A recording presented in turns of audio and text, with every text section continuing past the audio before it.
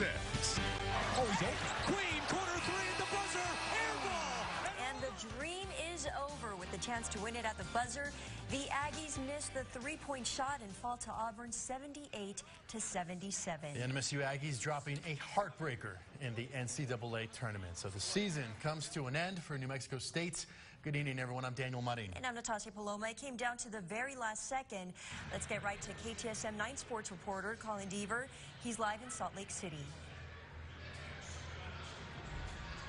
Yeah, guys, as you said, kind of an unfortunate ending to a, a, very good season for New Mexico State. Again, as they falter 78 to 77 here in the first round of the NCAA tournament. The Aggies trailed for much of the game as Auburn outplayed them for really almost all of the ball game. Before the Aggies mounted a massive rally late, they outscored Auburn 23 to 11 over the final eight minutes of the ball game to rally within one. They had a chance to tie and take the lead multiple times. Terrell Brown missed two out of three free throws that would have won the game for the Aggies with 1.7 seconds remaining. And then Trevelin Queen missed that buzzer beater that would have won the game for the Aggies.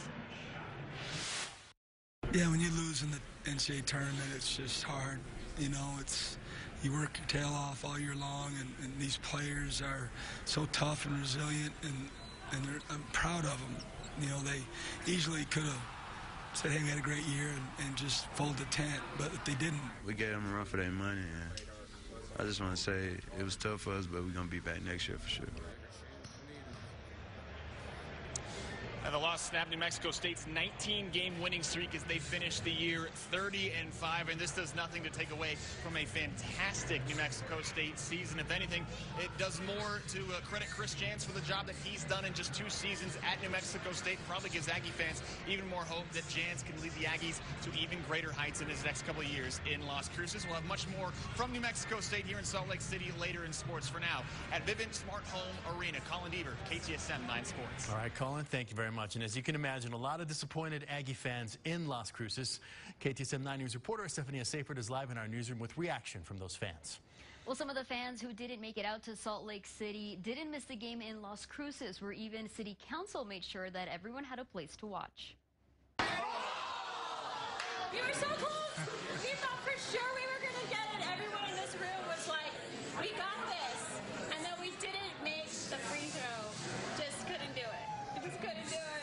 The fifth-seeded Auburn took on 12-seed New Mexico State in Salt Lake City, all eyes were on the Aggies, from City Hall to sports bars across Las Cruces. I was really excited. We, at first, we didn't think that it was going to be such a close game because it's never, like last year, it wasn't at all. Down 78-77 in the second half, Trevelin Queen missing a wide-open jump shot, giving Auburn the win. I'm so disappointed. It was, it was a tough loss because we, we could have had it at the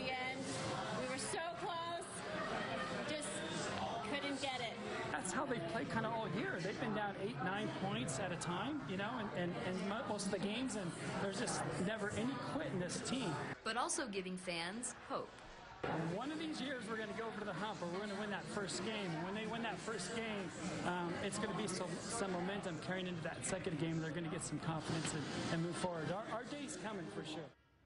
Now it's all eyes on the New Mexico State women's basketball team. They play on Saturday. Stephanie Seyfert KTSM 9 News. Stephanie, thank you very much. And you can still fill out your bracket and join in our basketball madness contest. Just go to KTSM.com. The winner, oh, by the way, gets